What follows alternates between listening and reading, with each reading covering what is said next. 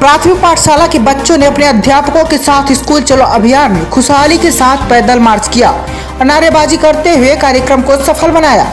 तुर्रा प्राथमिक पाठशाला दो से अरतरा तहसील तक पैदल मार्च करते हुए नारेबाजी के साथ संदेश देते हुए कदम बढ़ाते रहे और अभिभावकों को जगाने का कार्य किया। पैदल मार्च में अध्यापिका रेखा, सुधा देवी आदि बच्चों के साथ कदम से कदम मिलाकर चलती रहीं।